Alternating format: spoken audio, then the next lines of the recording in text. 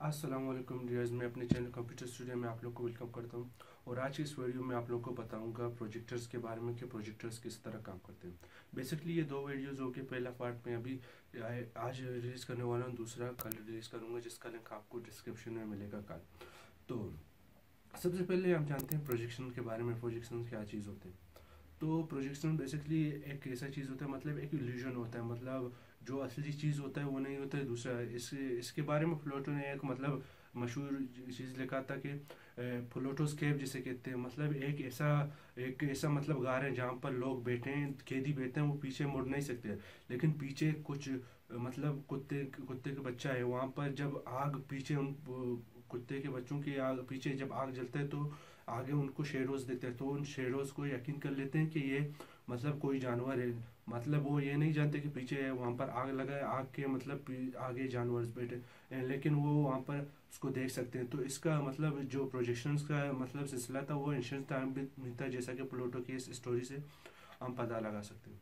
तो प्रोजेक्शन किस तरह काम करते हैं? जैसे आप लोगों ने टीवी में देखा होगा मतलब जो ट्रीज हैं, जो आदमी हैं, जो लोग हैं, जो गाड़ियाँ वो अपने साइज़ से बहुत ज़्यादा कम आप लोग को देख रहे होते हैं। मतलब जिस, जितने उनका साइज़ होता है, वो उतना नहीं देख रहे होते लेकिन जिस तरह का टीवी होता है, उसी तरह का मतलब इमेज आपको दिखाई दे रहा होता है। तो इस वीडियो में आप लोगों को बेसिकली बताऊँगा प्रोजेक्टर्स काम कैसे करते हैं कौन कौन से प्रोजेक्टर्स हैं यहाँ पर दुनिया में जो अभी यूज़ हो रहे हैं। तो सबसे पहले मैं आप लोगों को बताना चाहता हूँ कि यहाँ पर दो तरीके के टाइप्स के प्रोजेक्शन एक है फ्रंट प्रोजेक्शन एक है back projection front projection basically काम करता है इस मेथड पे कि आप यहाँ पर खड़े हो और आपके पीछे एक प्रोजेक्टर है और वो आगे, जो आपका आगे के दीवार है, वहाँ पर प्रोजेक्ट कर रहे हैं। मतलब आपके पीछे प्रोजेक्टर जहाँ पर मैं खड़ा हूँ, यहाँ पर मैं खड़ा हूँ, वहाँ पर पीछे प्रोजेक्टर और आगे जहाँ पर मेरा कैमरा है, वहाँ पर एक वाल है। तो उस वाल पे आपको वो लाइट थ्रो कर रहा होता है, उसको हम कहते हैं फ्रंट प्रोजेक्शन जो नॉर्मली प्रोजेक्टर्स में यूज़ होते हैं। प्रोजेक्टर्स में सिर्फ़ यूज़ होते हैं टीवीज में नहीं। अब मैं दूसरा बताऊँगा, जिसको कहते हैं back projectors break projectors basically होते हैं। मतलब आप आप यहाँ पर खड़े हो, आपके आगे एक स्क्रीन है स्क्रीन के पीछे एक लाइट है।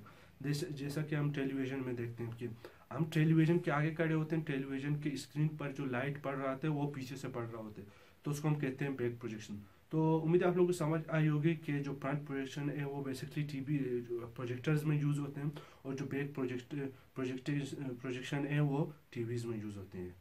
तो यहाँ पर जो सबसे पहला प्रोजेक्टर था जिसको इन्वेंट किया गया था उसका नाम था साइन जिसको दो फ्रेंच ब्रदर्स ने एटीन नाइन्टी फाइव में इन्वेंट किया था सबसे पहला ब्रदर का नाम था अगस्टी और दूसरे का नाम था लुइस ये बेसिकली इस प्रिंसिपल पे काम कर रहा था जो आजकल के जो प्रोजेक्टर्स हैं वो उस प्रिंसिपल पे ही काम करते हैं। एक प्रोजेक्टर रखा जाता था आगे ऑडियंस बैठती थी और सामने पर्दे पर जो आ, मतलब मूवी है वो दिखाई जाती थी। तो बेसिकली सबसे पहला प्रोजेक्टर इन्हीं दोनों फ्रेंच ब्रदर्स ने बनाया था ना एटीन में।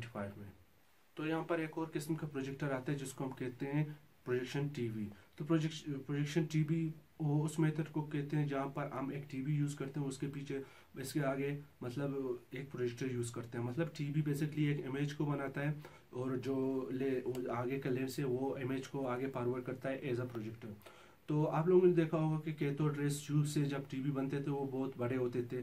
और जब, अब छोटे छोटे थिन मतलब टीवीज आते हैं जिनको हम बनाते हैं एलसीडी से। तो इसी तरह जो प्रोजेक्टर्स हैं, उनमें भी बेहतरी आई है। तो मैं आप लोगों को बेसिकली तीन टाइप्स के प्रोजेक्टर्स बताऊँगा। लेकिन अभी इस वीडियो में इनको एक्सप्लेन नहीं करूँगा, लेकिन उनको टाइप बताऊँगा। तो सबसे पहला जो प्रोजेक्टर है, उसको कहते हैं कैथोड रे ट्यूब प्रोजेक्टर मतलब सी आर टी प्रोजेक्टर्स होते हैं। इसके बाद होते हैं L C D projector L C D projector basically liquid crystal display वाले प्रोजेक्टर्स होते हैं।